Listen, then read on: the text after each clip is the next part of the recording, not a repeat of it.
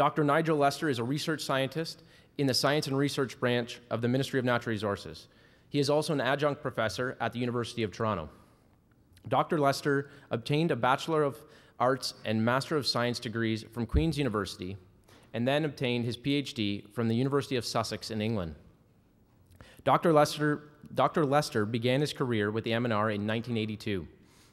He worked as a biologist with fisheries assessment units and coordinated the development of software for managing Ontario's fisheries information. Dr. Lester joined the research branch in 1992 as a research scientist. He has researched the effects of climate and other environmental variables on the growth, reproduction, and longevity of freshwater fish. Dr. Lester's research over the years has made significant and valuable contributions to freshwater fisheries management in Ontario. Everyone here knows the value of monitoring and assessment for sound fish and wildlife conservation management. In recent years, Dr. Lester has led the development of MNR's broad scale monitoring program. It is for this reason that we felt it was fitting to invite Dr. Lester here today to share some of the highlights of broad scale monitoring with you. Please join me in welcoming Dr. Nigel Lester to the stage.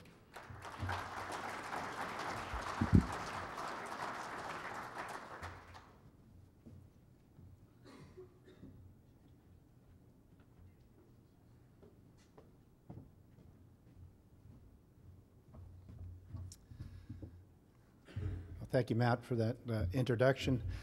I'm truly uh, very, very happy to be here today and thank the uh, OFAH for inviting me. Um, I want to tell you what I think about what I think is a, an exciting new program. Uh, but of course, new is just a relative term. It depends how long you've been around as to what's new. Um, Matt neglected to mention that I've also been around MNR for, for quite a while, 30 years. So this program looks new to me. Uh, it's not new to everybody in MNR, uh, but uh, that's the way it goes.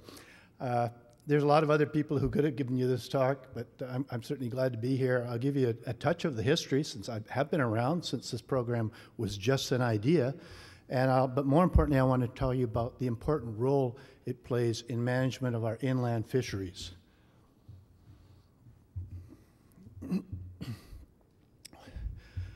so if you like fishing, or if you just like the tranquility of our lakes and rivers, Ontario's clearly the place to be. We have a very rich landscape. When you look at this landscape, you can detect some relatively large lakes on the landscape, and these lakes are monitored quite intensively by the Ministry of Natural Resources. I don't want to look at those today. What I want to look at is what about the rest of the resource on this landscape? Individually, there's a lot of small lakes out there, but as a group, it amounts to a vast resource. And the question is, what are we doing to manage that resource? Let's have a look at that resource. Well, if it's largemouth bass you're interested in, you better stick to the southern part of the province. If it's muskie, also for the most part, a southern fringe. Northern pike, you can get them everywhere. Brook trout, more restricted range. Smallmouth bass, southern species, but it's moving northward. Lake trout, if it's deep enough for those cold waters in the summer, the lake may have lake trout in it, widely distributed. And of course, walleye, the preferred fish in our province from a recreational fishing viewpoint, Glad to say we've got over 4,000 of those lakes, and they're widely dispersed across the province. That picture is a picture of a vast, spectacular resource, and we are lucky to be here. The picture you're seeing is there because of the work that some young people did back in the 70s and 80s when the aquatic habitat inventory was conducted. And I think there's some people who are on that survey in the room. I met at least two of them last night here. Uh, that survey surveyed 10,000 lakes, collected bathymetry, water chemistry, and species lists. It's a vast information source for all of us scientists working on the province. It's, we have not been back to do a province-wide survey until very recently. In 1980, or sorry, in 2008, we initiated the broad-scale monitoring program. The first cycle of that program was completed in 2012, and we, we surveyed 700 lakes across the province, and this map shows you where they are. We collected bathymetry, water chemistry, and did the species listing again, but we also collected much more. I want to tell you about what that much more is, but first, just how did this program begin? Well, it's, it's probably at least over a decade ago we started re asking this question how do you manage this spectacular resource? There's tons of challenges here. We got many lakes and species, at least 10,000 lakes larger than 50 hectares. We got multiple target species. We got multiple stresses on this system habitat changes, community changes, fishing. We have multiple goals healthy ecosystems, sustainable fishing, social and economic benefits. So there's challenges, but we believe there are solutions. Solutions being for many lakes and species, we can't monitor every lake, but we can take a statistical sampling approach and look at them. Multiple stresses, they're simultaneous and cumulative effects. So we need to monitor the ecosystems, look at the communities, look at the environment. And the multiple goals, well, these goals are overlapping. So the data needs for evaluating our success in achieving them may well be overlapping as well. So this type of thinking led to a shift in emphasis. Uh, in 2005, we developed something which we then called the new Ecological Framework for Fisheries Management. The idea of this program was when we look at this map, we can't simply ask, How is my lake doing? because there's too many of them. We need to kind of reorganize and think, How is my zone doing? So we, this particular emphasis created a new map for the province, a map of fisheries management zones and it created an emphasis that our monitoring program should be focused on telling us what's the status of systems within these zones. It also created another series of components of that program. The components were number one, set our goals for zones, not individual lakes. Number two was enhance public involvement.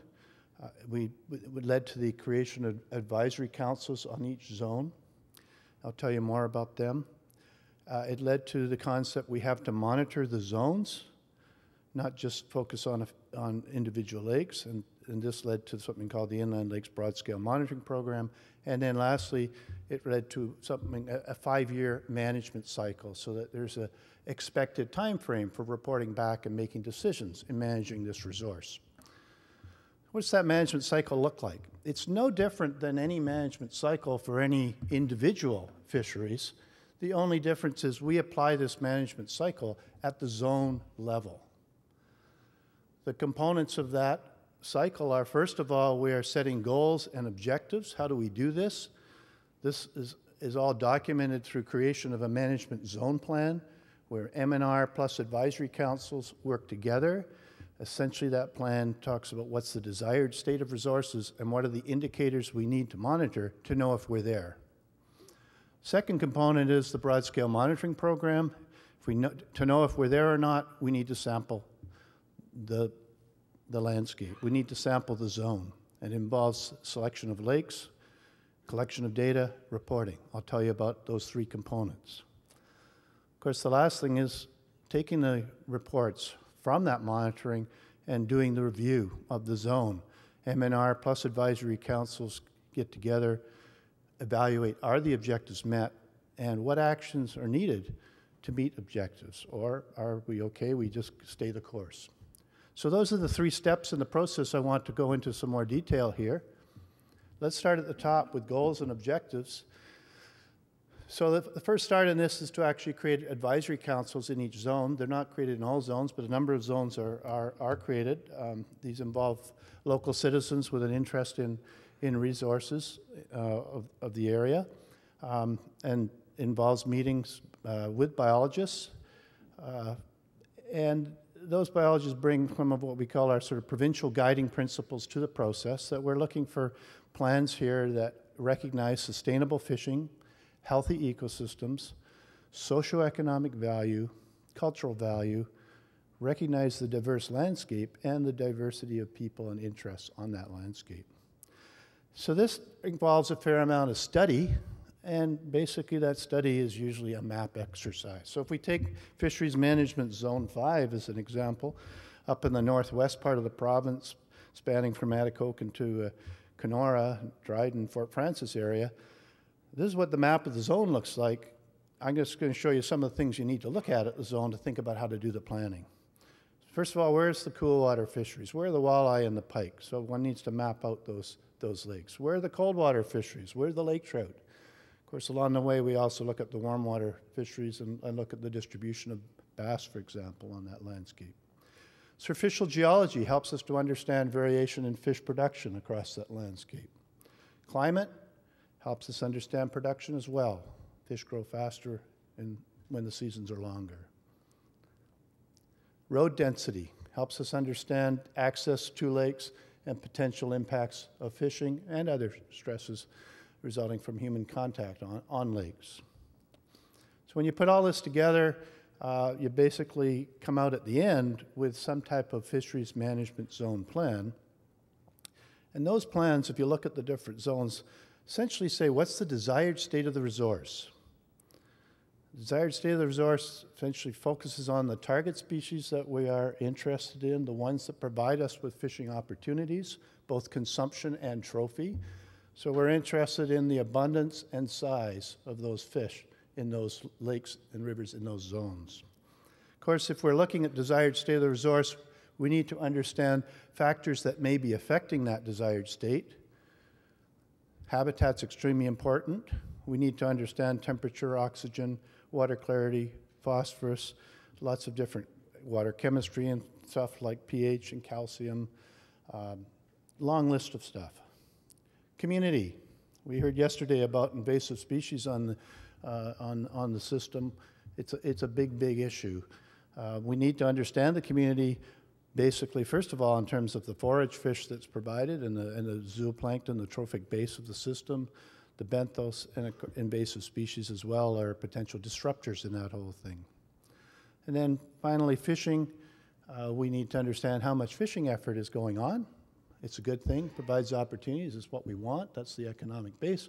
We also need to understand the impact of that in that fishing when we're thinking in terms of creating a sustainable fishing opportunities over time. When we put it all together, what we're saying is we need to monitor the ecosystem, not just the harvested species. That's what will help us understand where we sit today and how things will change in the future. So this type of thinking in the plans is what directs the monitoring program that goes on. The monitoring program essentially has three things to do, select some lakes, collect some data, and then report. So how does the lake selection work? Let's go back to zone five. Here we've got a big zone full of lakes. What happened? We selected 130 lakes in that zone for the monitoring program.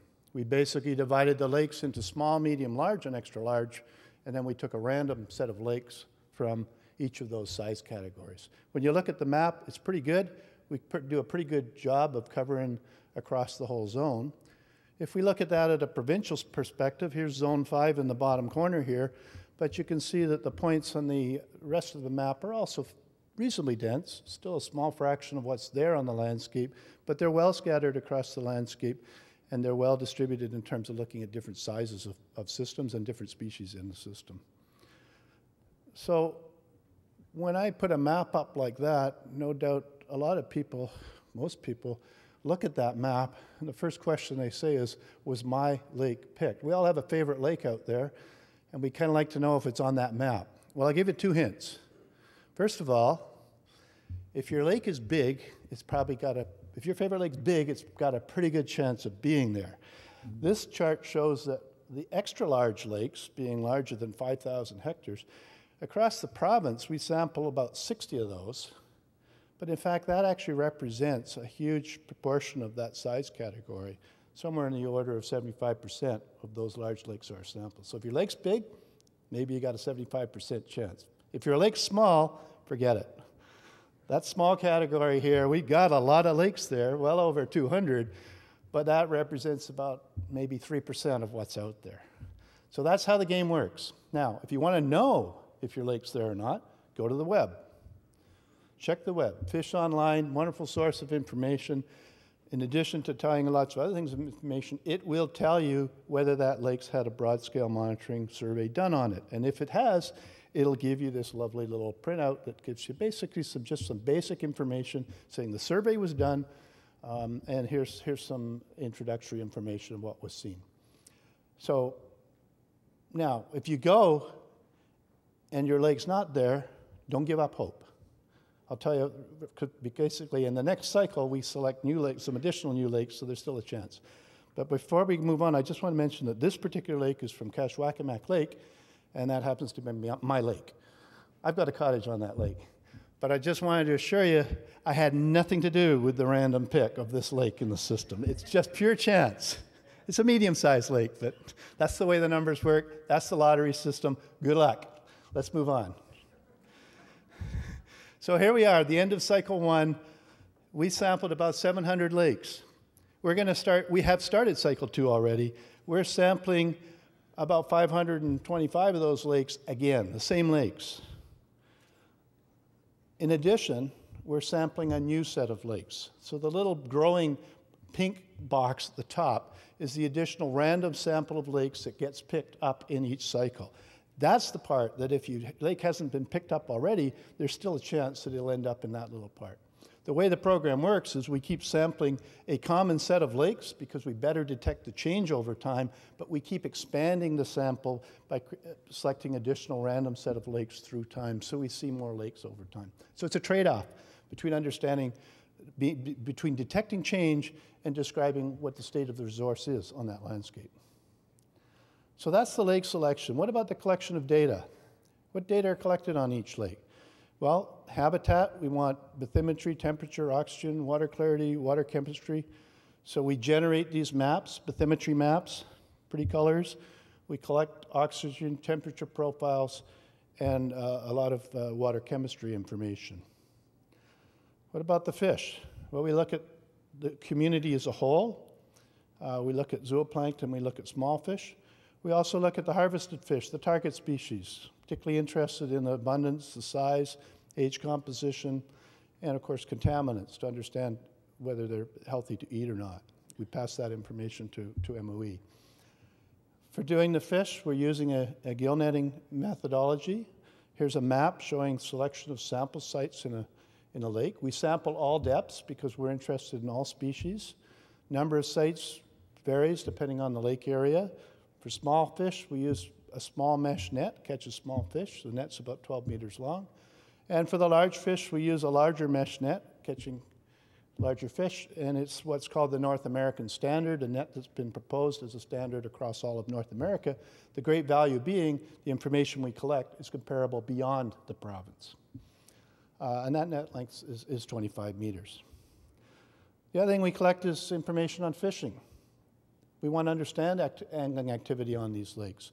So we do flyover surveys and we count angling parties on the lake, on these lakes. We do those counts uh, on, um, in the summer or the open water season as well as the winter to get a direct uh, indication of what type of activity is on the lake. So that's what we collect.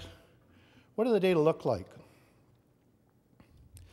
Well, walleye is the number one preferred species, so I thought I'd show you a little bit of walleye data um, just to give a feel for the data, and then we'll talk more about generally how we try to report this stuff. So if you look at walleye and take all the lakes in the province, this graph here shows what we call the catch per unit effort in kilograms per net. So the, the number of kilograms of walleye caught per net. And what the, the shape shows is that little uh, box there shows that 90% of the lakes caught something less than between zero and five kilograms per net. There's a few lakes, one in particular that caught nine kilograms per net. I don't have to know which lake that was, but I do have the database handy. but I just wanted to give you a feel for that's what we're collecting. We use this information as an index of abundance. We also calibrate this information through separate studies so we can turn that number into the number of kilograms per hectare. Uh, and we're making good progress at doing that. We're working with people across Canada to understand how this methodology can be used, not just to get an index of abundance, but to get a measure of the actual density or number of fish in the lake. This is the great advantage of using what we call a North American standard because it's a standard that's starting to be adopted now beyond Ontario. So we're not alone in this game. Anyway, that's what the range of abundance is for walleye, and it left, leaves one asking the question, why? Why is it so variable? Why do we have very little catches in some and high catches in others? Well, factors affecting walleye abundance, one of the big things is water clarity. I'm sure anglers know pretty well. I, I had to study a lot of data to really understand this stuff, but, but if you've been on lakes, you probably understand walleye are, are uh, adapted to dim, dim light or whatever, and so you tend to see, as this graph shows, each point here is a lake, you tend to see that the higher catches, the higher abundance of walleye is on the low Secchi lakes. As water clarity increases, uh, the, the maximum catch rates are lower. You do also notice that some of those low Secchi systems have pretty low catches of walleye as well. So there's other factors affecting it. It's not just water clarity. One of those factors, of course, is fishing. We take the same lakes and plot them versus our estimates of annual mortality the proportion or the percentage of the population that dies every year, we see a similar kind of shape that low mortality has, you can get high uh, catches or high abundance of walleye, but you don't see high abundance when the mortality is high. It's no surprise when we actually look at the, what we expect in these systems. Low mortality, th those low values are close to what we expect for a natural mortality in the system. So when we see these high mortality rates, it's an indication that the system is probably being, being fished, and the fishing is having an impact on the abundance. So it's this combination of different factors, habitat and fishing, if you like, that leads to the results that we see when we look at the abundance of fish in lakes. So that's, that's my walleye example. Uh, it's all the data I'm going to, going to show, but I hope it gives you a flavor for the types of things we can look at. This is an extremely rich data set. We have the same data, types of data from every zone in the province. This has never been done before. In fact, I think not just in Ontario, but in terms of the, the detail of data we have, it's never been, been done before, but I think elsewhere you'd find that this is unique. It's a big job here in terms of pulling all this stuff together. I'm involved with a team of biologists that are doing it, but the concept is we, we have a whole list of reporting products, and we are producing the same product that's produced in every zone in the, in the province. So there's a really nice comparable set of information for saying what do things look like in different zones, and of course that's a stepping stone for saying, and how do they change over time? So given we finished one cycle in the program, we're into our management zone review. And essentially, the results that come, the types of things I'm showing you here, are fed back to the advisory councils, uh, work with MNR, and the question we're asking is, are objectives met? And if not, what are the actions needed? So how do we look at these objectives? We take things like the abundance of walleye, it's not one value, it's many values. So this little box here sort of spans, if you like, the idea that a, there's a range. And we plot it for 2000, end of cycle one here. Here's the results for walleye. How did we do? We can't really measure how we did unless we have some reference line. So let's say we had a plan whose desired state was that this is what we thought the abundance could be. And in this case, we're above that desired state, so everything's good. But what if our walleye abundance wasn't as high? We're kind of straddling the line here. We're kind of in that yellow caution zone. We're not quite where we hope to be. And what if the walleye abundance is low? We're well below where we hope to be. And we're left the question is well, if this desired state is a realistic state, how can we get back into that desired state? Essentially, what do we need to do to move the system back into that desired zone, desired state? Well, we've got to sit down and decide what management actions are needed. So when we look at this template here about what affects fish populations, we've got to look at the habitat and say, is there, are there habitat issues? Is there habitat rehabilitation needed? We have to look at the community and say, do we have some type of issues in the community that may be preventing realization of this goal. Um, community changes are hard to do, so what types of actions we have available to us for community change are probably relatively few. Uh, basically, we know that we want to kind of prevent and control species movement so we're not creating these species, these community changes, which create havoc for our, for our fisheries.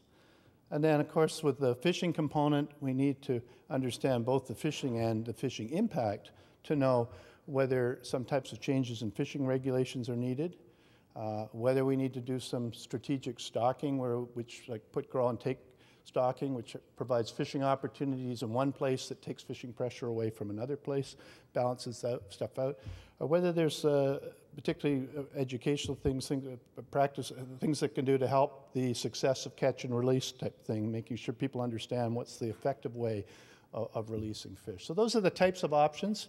We also have, if, the, if, if we have a, a, a direct measurement, a, a direct effect would, on the population would be some type of rehabilitative stocking where we've seen that the population has suffered in the past through some habitat stress or other.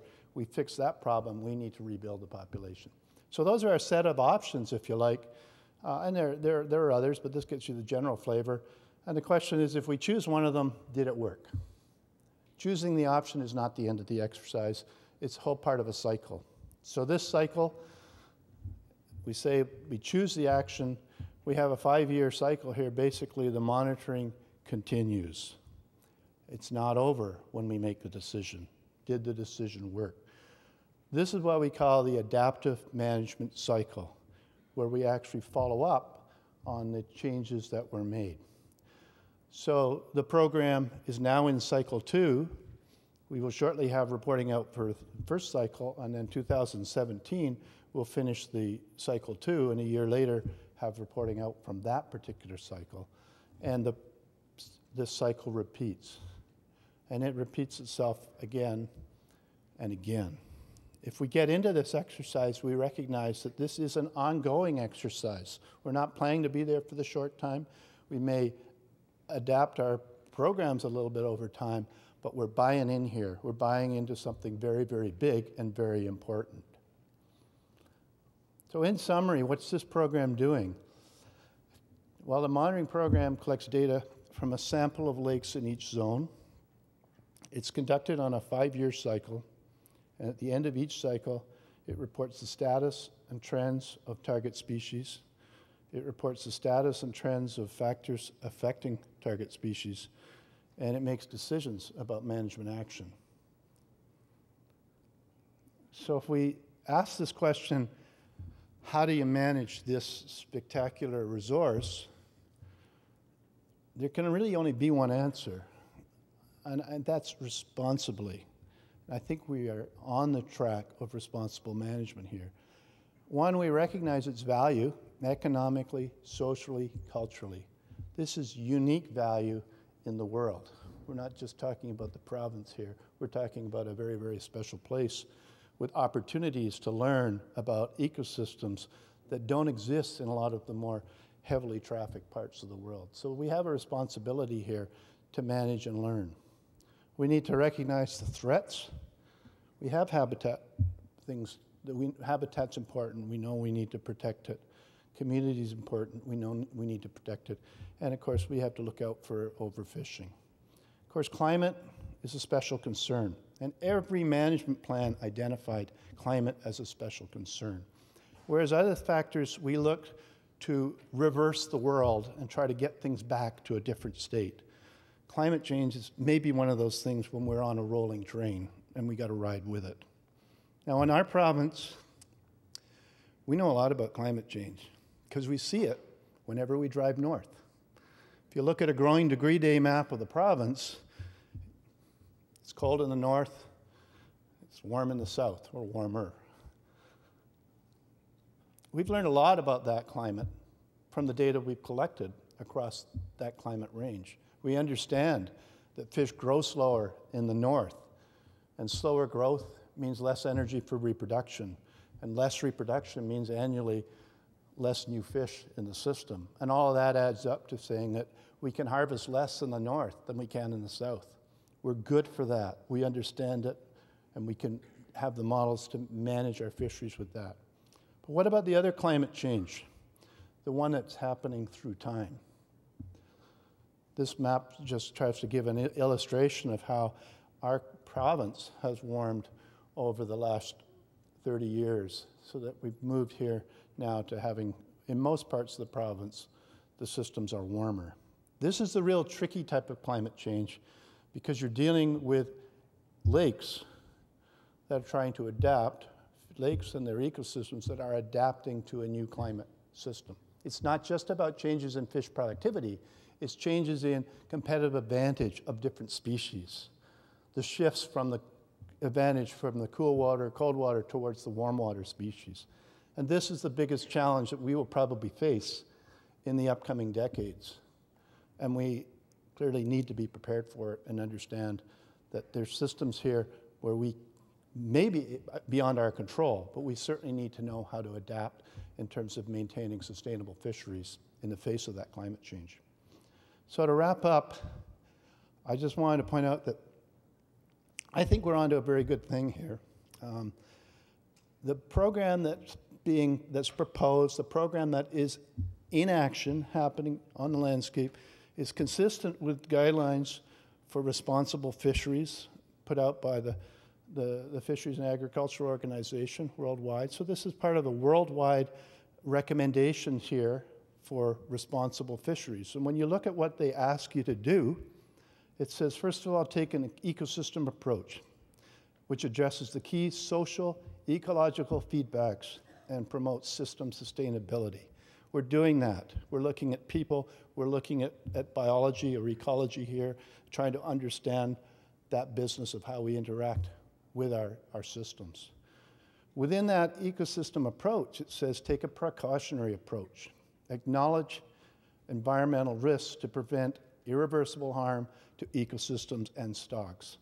We are doing that. The biggest factor probably is the climate change thing and the understanding of how we can move forward with it and our need for data to understand how to move forward with that change. There's other examples too that I, I think would demonstrate the whole precautionary approach. The management process should be explicit in objectives, open, inclusive, and encompassing of all stakeholder desires. We are attempting to do that for the enhanced sort of public engagement in the whole thing. The whole point is to bring people more into the process of fisheries management so we have a successful formula on the landscape. And then one more component is the whole adaptive management component. It's learning through monitoring of the management interventions. So the program's not done when we make a decision, it's just part of the cycle. So with that, I just want to end and say, I think Ontario has a uh, good story to tell here.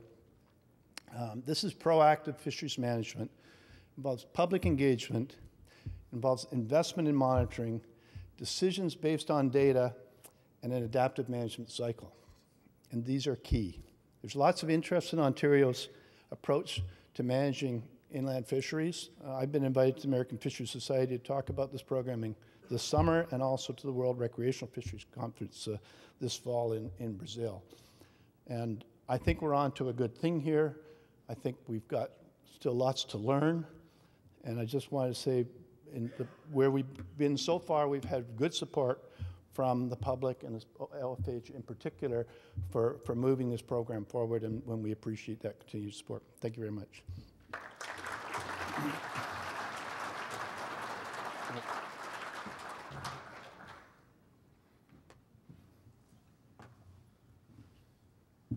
So same drill as before, but I did want to say one thing. Uh, I think Nigel did a great job of uh, sharing this information, some insight on, into this program.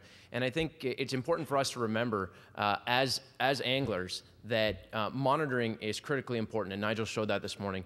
Uh, but even more so that this is something that our SPA, our special purpose account dollars, are paying for. Uh, it's crit critically important for managing the fishery. We need it, and as Nigel said in his last slide, that we need to invest in it. And, and it's an important investment for us as anglers to manage the fishery that we love. All right, so we'll take some questions here. Neil Weens from Northwestern Ontario. question uh, with regard to the monitoring system. You focused on broad scale monitoring of lakes, and I sense there is either uh, missing from the whole program is monitoring of riverine systems. And I'm wondering what you feel uh, might be done to get some monitoring uh, in those uh, ecosystems themselves, because they are certainly quite different from lakes. Yes, thank you, Neil.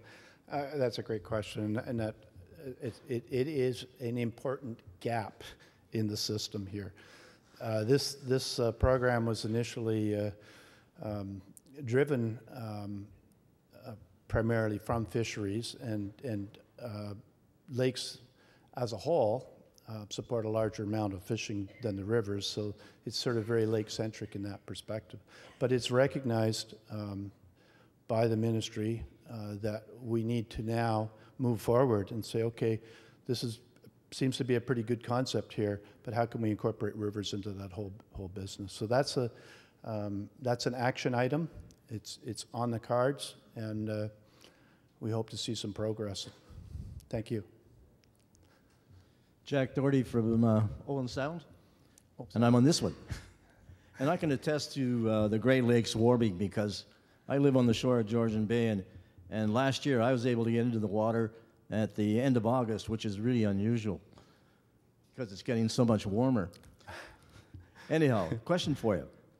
What are you going to do about the natives and the disregard they have for looking after the species of fish in their area when they can overfish a lake with compunction and not even worry about it.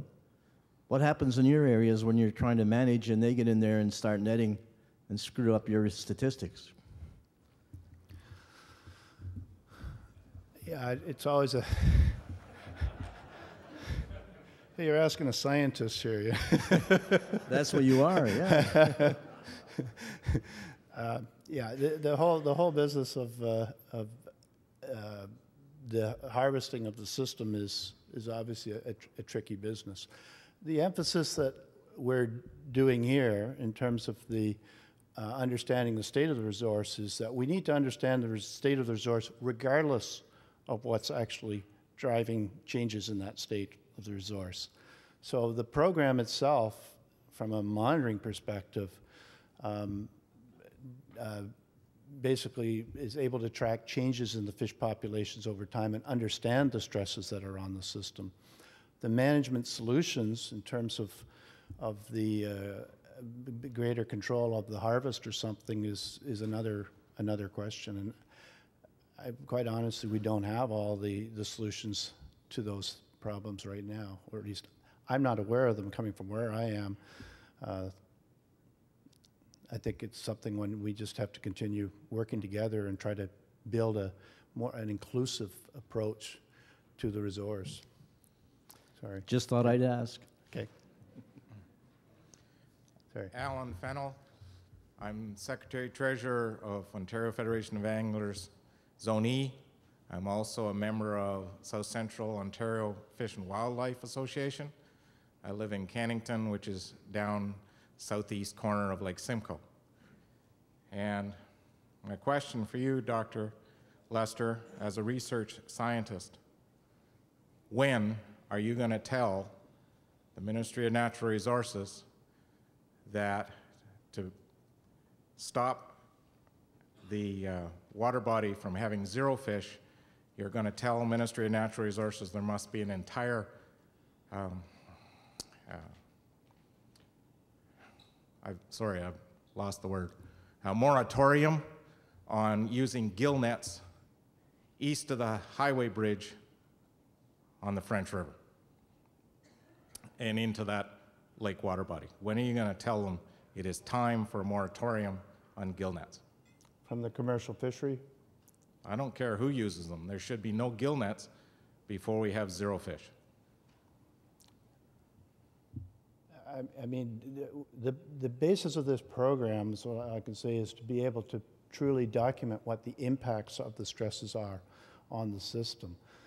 And I have to admit, from a, a, a design perspective, it's about providing that type of information so one understands if one has a big issue or not. Um, the solutions are much more complex, I understand. I understand that. We're just saying that the Ministry of Natural Resources, again, last, yesterday it was reinforced that you're staying with science-based. And you as a scientist, uh, I was asking when you're going to put your hand up and say, this is a, a crisis. Thank you. Okay, thanks.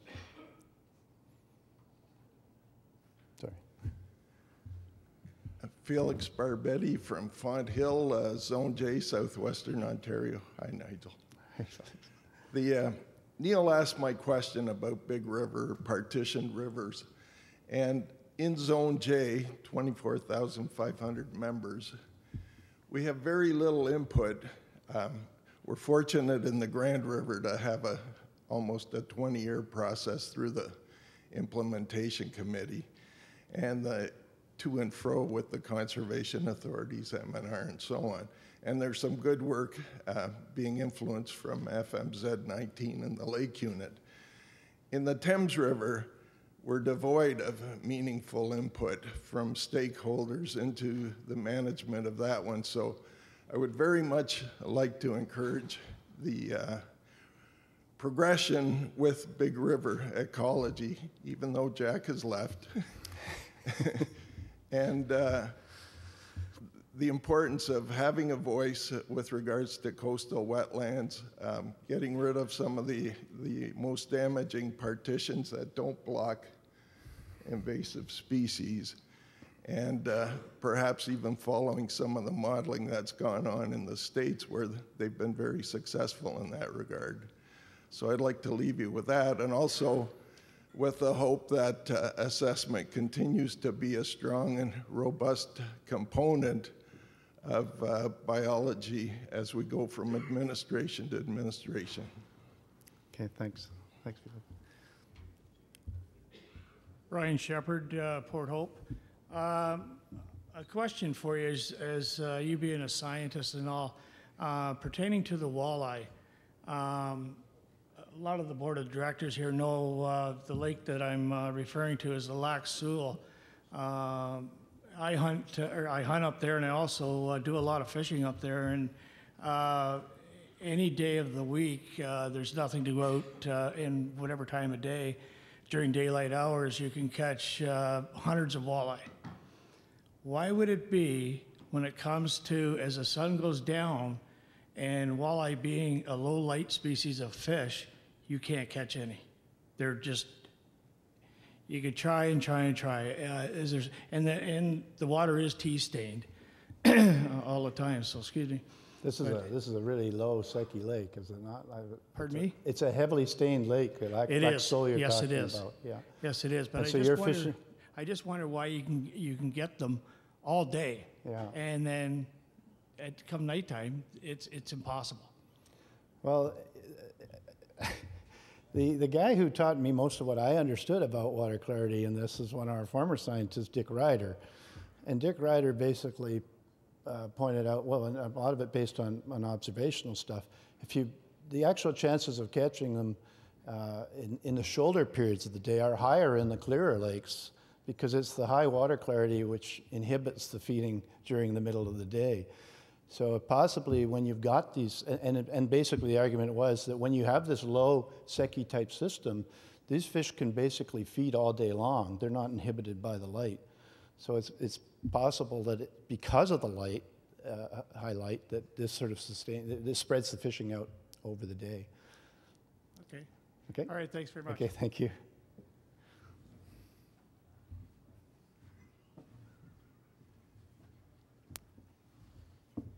So again, I would just like to, uh, to thank uh, Dr. Lester for such an informative, informative presentation and also uh, taking some, some hard questions on issues that are really important to us um, from a science perspective, uh, even though some of them may uh, do more with policy and, and some other issues, uh, as well as Brian trying to get some fishing tips for Lac Seul. So we, we, we appreciate your patience, patience, and if everyone could join me in thanking Dr. Lester.